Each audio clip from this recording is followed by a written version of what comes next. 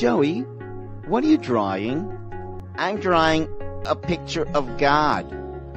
But Joey, nobody knows what God looks like. As soon as I finish, they will.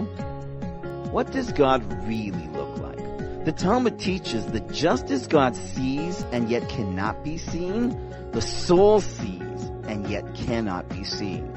The Kabbalah metaphorically describes God as unlimited light because although light enables you to see, the light itself cannot be seen.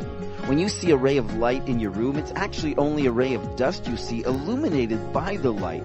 But the light itself, although enabling you to see the dust, cannot be seen. Therefore, God, like light, enables us to see, but cannot be seen. And we too cannot be seen because we are souls. A soul is a ray of God, a limited ray of the unlimited divine light. You can see a reflection of yourself in a mirror, but you cannot see yourself because it's you doing the seeing. And so too, you can see a reflection of God in the universe, but you cannot see God because God is the source and power of all seeing.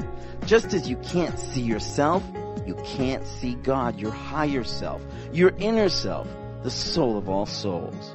But even though you can't see God, you can know God. As soon as you realize that you looking for God is like a ray of light looking for light.